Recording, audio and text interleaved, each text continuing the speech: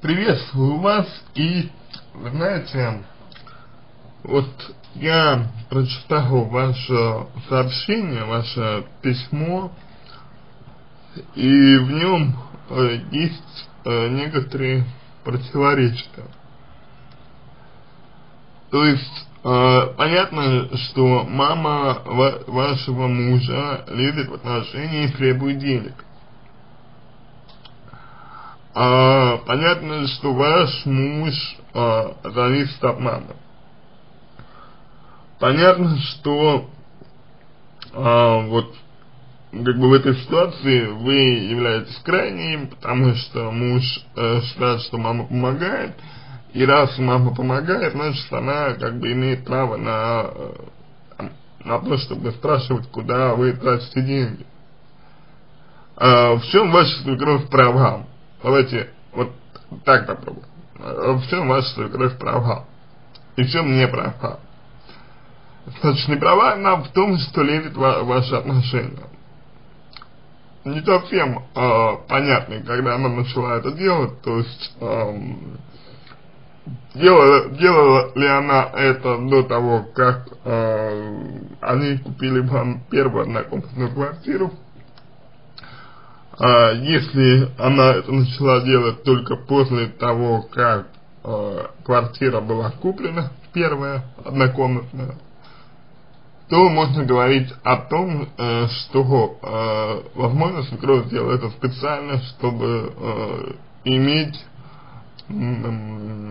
повод э, ну, вмешиваться в ваши отношения. А, если она делала это до этого, до э, того, как э, вам, ну, как вам была приобретена квартира, то тогда можно говорить о э, других, конечно, э, мотивах с ее стороны, но э, мотив, мотив этот все равно остается один.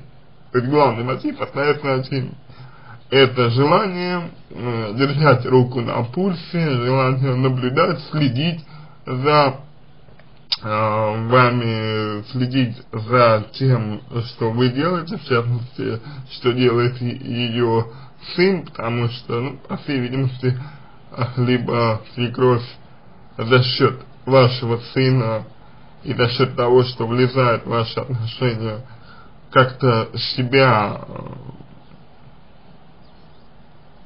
ну, реализует, да, то есть самоутверждается, а, либо она просто таким образом беспокоится за сына, то есть у нее такие вот а, гипертрофированные а, материнские чувства. А дальше, значит, ваша мама в этом не права, вот мама вашего мужа э, не права в том, что вот лезет ваши отношения. Теперь э, момент очень тонкий Значит, родители купили вам однокомнатную квартиру. Это было чье желание? Это было, как я э, понял, это было желание ваших, э, ну, вашей свекрови. То есть свекровь изначально захотела купить вам квартиру однокомнатную, они это сделали, они купили ее непонятно почему э, по собственной воле э, купленная квартира нуждается в возврате половины ее стоимости. Но это все равно, что если бы я э, купил бы вам, например, машину, да, по собственной воле, а потом стал бы требовать у вас половину этих э, денег, э, хотя вы меня, в принципе, не просили о, об, о покупке.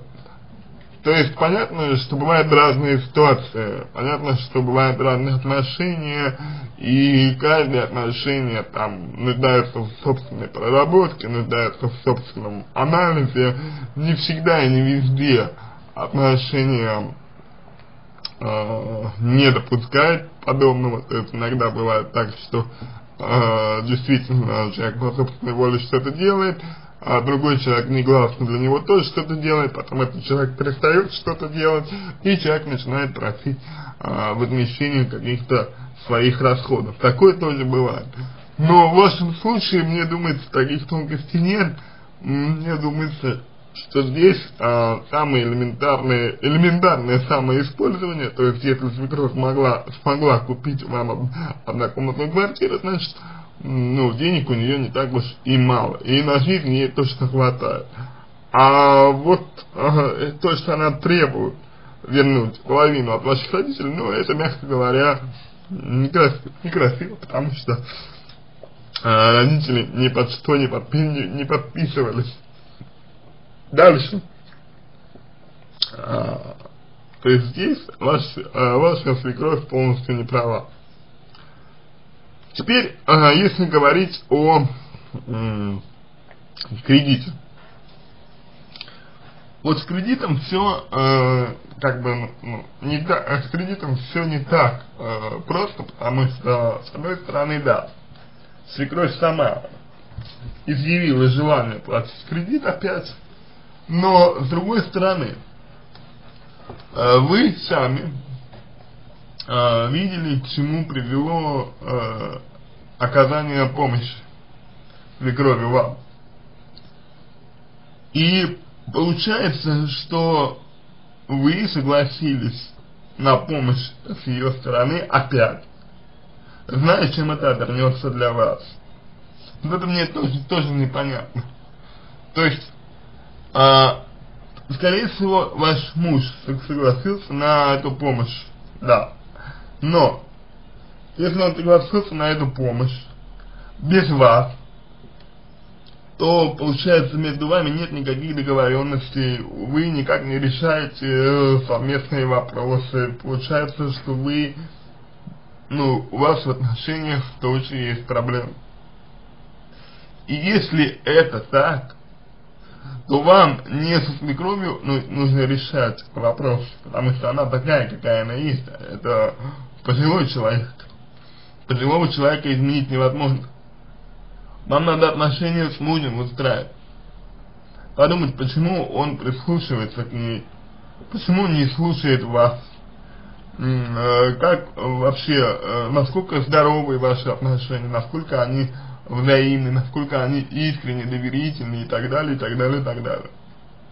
Вот это нужно, нужно вам э, как бы анализировать, с этим вам нужно работать. Не с тем, что вот вы пишете, да, а с этим. Потому что, ну, вот непонятно, почему вы согласились второй раз на, на помощь. Да, вам, было, вам тяжело, но, как я понял, вы справлялись. Свекровь облегчила вам жизнь, да, ну какой ценой. Э, в принципе, это вот то, что я хотел вам сказать. И а последнее, что вы пишете, то, что э, пробовали своему мужу говорить о том, что свекровь лезет в ваши отношения. А, но ваш муж злится. Злится и считает, что раз она помогала, то и имеет право, да, что-то вам говорить. В этом, э, в этой ситуации мне видится только одно верное решение. Это решение связано с договором. Когда речь идет о деньгах, то всегда используется договор как единственная нормальная, адекватная форма э, решения денежных проблем. О чем вы можете договориться э, со своей свекровью, ну и с мужем заодно тоже о чем вы можете договориться? А договориться вы можете о том, что э, долг, который э, считает существенным ваша свекровь, вы отдадите э, вместе с мужем. Отдадите в течение там, ну, какого-то времени и начните постепенно выпла выплачивать э, свекрови ее деньги, которых она так хочет, судя по вот, вашему письму. И, и как только вы э, дадите ей себе и своему мужу. Вот э, этот вот элемент а, договора, то у свекрови моментально пропадет любое обоснование для того, чтобы вмешиваться в вашу жизнь, потому что ей-то ведь нужно, чтобы вы э, долг возвращали. Но вы это и будете делать. Вы будете возвращать долг, но постепенно, конечно же. Конечно же, постепенно. А, следующий важный момент, который мне э, представляется очень э, серьезным. Этот момент заключается в том, чтобы вы, э, именно вы сами,